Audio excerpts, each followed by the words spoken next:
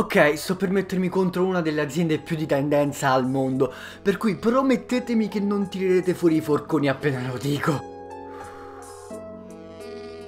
Netflix fa degli sbagli nella comunicazione. Ho già testato con mano che alcuni reputano una cosa del genere come un problema di minima importanza, ma sinceramente ho sentito più e più volte parole frutto della disinformazione causata da alcuni elementi della piattaforma streaming statunitense, per cui credetemi quando dico che le ripercussioni di un'informazione parziale possono acquisire dimensioni davvero enormi a lungo andare. Più banalmente, Castlevania non è un anime. Il videogioco originale giapponese, lo stile del character design ricorda più una serie orientale che una occidentale, ma la produzione è americana come molti di quelli che ci hanno lavorato. E qui si torna al solito discorso. È giusto definire anime qualcosa solo perché potrebbe vagamente ricordare, che so, Vampire Hunter D? A questo punto mettiamoci a definire serie animata o cartone animato quelle serie orientali che ricordano più delle produzioni occidentali, no? A pensarci anime che che sono davvero di produzione giapponese come Topo Gigio vengono costantemente considerate di provenienza occidentale per cui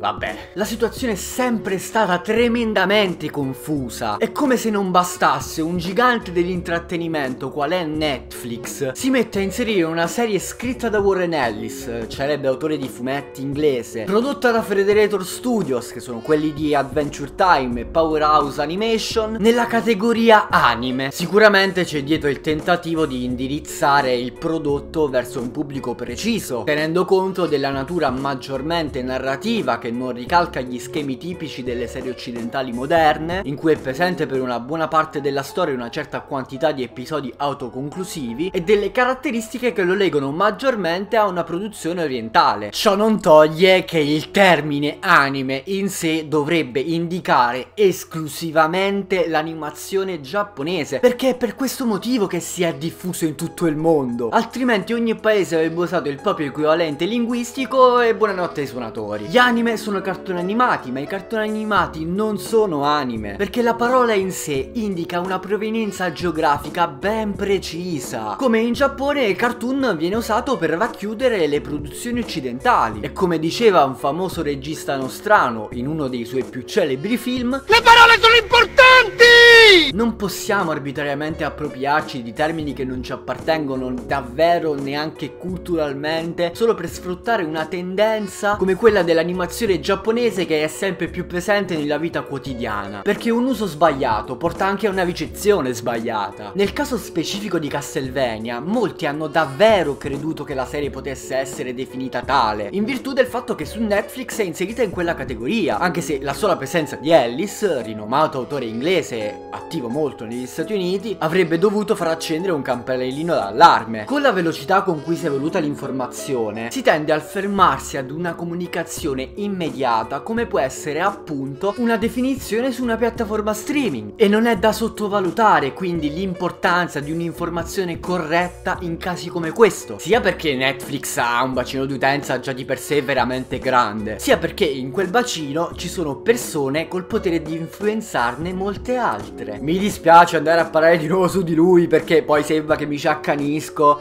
e non è questo il caso perché l'ho conosciuto mi ha regalato il suo fumetto e tutto ma visto che siamo in pochi a parlare di queste cose e lui è uno tra i più grandi, Mangaka 96 ad esempio è stato vittima di questo sbaglio. In un suo video su 5 anime da vedere su Netflix consiglia appunto Castlevania non specificandone la provenienza. E potete immaginare anche da soli che un pubblico tanto vasto e soprattutto giovane possa essere condizionato nel considerare la serie un anime. Naturalmente è responsabilità degli influencer informarsi correttamente, ma posso anche capire e fidarsi di ciò che dice Netflix perché Comunque si tratta di un colosso dello streaming, con un ruolo già fondamentale per la società contemporanea. Tuttavia, anche i più grandi sbagliano e quando succede bisogna farlo notare. Perché in questi mesi si è montato un hype pazzesco per la quantità di serie anime prodotte da Netflix, visto che è questa la definizione data, serie di Netflix. E allora com'è che in realtà l'unico ruolo della piattaforma è quello di distributore e ancora non è per niente chiaro se ci abbiano messo soldi o meno? Voi avete mai sentito di dire da un qualsiasi distributore dire che un, un film l'hanno prodotto loro? Al letto delle informazioni vi lasciate, Netflix non è parte del comitato di produzione di quasi nessuna delle serie attualmente pubblicate, da The Beginning a Sword Guy Animation, che quindi non gli appartengono, ma vengono lo stesso marchiate a fuoco dal logo che dovrebbe indicare gli originals della piattaforma. All'annuncio di tale iniziativa fu usata una comunicazione entusiastica, come se Netflix fosse arrivata dall'alto dei cieli con i propri soldoni a salvare l'animazione giapponese. Peccato però che non ci fosse certo bisogno di alzare la produttività di un settore che sforna già 200 serie l'anno solo per quanto riguarda il circuito televisivo. Per di più è venuto fuori che il tempo di realizzazione di Devilman Crybaby, indubbiamente la prima hit di quest'anno, è stato inferiore a quello di un classico anime televisivo. Per cui va bene che un'azienda debba utilizzare delle strategie di marketing efficaci, ma neanche è giusto far passare dei messaggi sbagliati tramite informazioni parziali. Seven Deadly Sins, ad esempio, non è di Netflix, non c'entra niente con la piattaforma a livello produttivo, ma ha quel marchio perché ne hanno l'esclusiva in Italia e così per altre decine di serie. Direte, eh, vabbè, ma si sapeva, dai.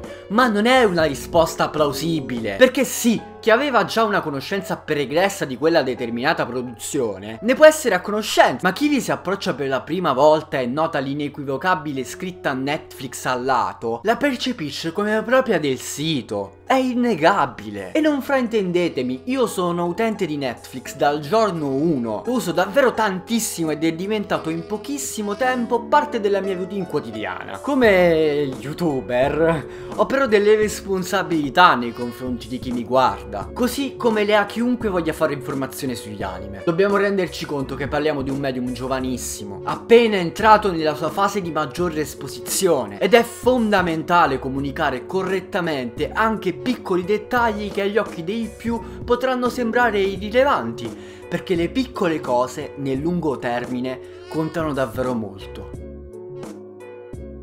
Ebbene, eh, adesso non so se aspettarmi una querela, non penso questa sia diffamazione, perché sono tutte informazioni comunque facilmente reperibili e che con un attimo di attenzione si capiscono anche non conoscendo effettivamente la situazione. Però per me è davvero importante che attorno agli anime si crei un settore di informazione in cui ogni dettaglio sia veicolato nella maniera giusta, perché altrimenti si rischia di portare un medium che comunque attualmente non è comunicato in maniera proprio corretta da chiunque, ad essere sempre meno capito socialmente. Non parliamo comunque di qualcosa di così semplice da poter venire veicolato con superficialità. Il mondo degli anime è veramente tanto complesso, soprattutto a livello produttivo, per cui bisogna avere l'accortezza di parlarne nella maniera giusta. E anche un settore è anche un colosso dello streaming come può esserlo Netflix, ma come lo è anche Vid e tutte le altre piattaforme di streaming che ci sono in Italia, deve essere il primo a non fare sbagli, perché il pubblico che raggiunge è enorme, è anche facilmente influenzabile, perché parliamo soprattutto di adolescenti, di persone che non hanno informazioni precise nei confronti degli anime e che le traggono da lì. Bisogna quindi stare attenti e sì, so che magari c'è chi segue il canale e non gli interessa di questo tipo di video, ma per me è importante alla stessa maniera fare video su analitici su anime e video del genere, perché parliamo di una community ancora ignorante, non in maniera offensiva, perché l'ignoranza non è offensiva, è, è, una condizione normale. Io sono ignorante di scienza e di matematica e qualcuno può essere ignorante in anime, non è un peccato mortale, non muore nessuno. Però viste le dimensioni che sta raggiungendo questo mondo, è sempre più importante non sbagliare.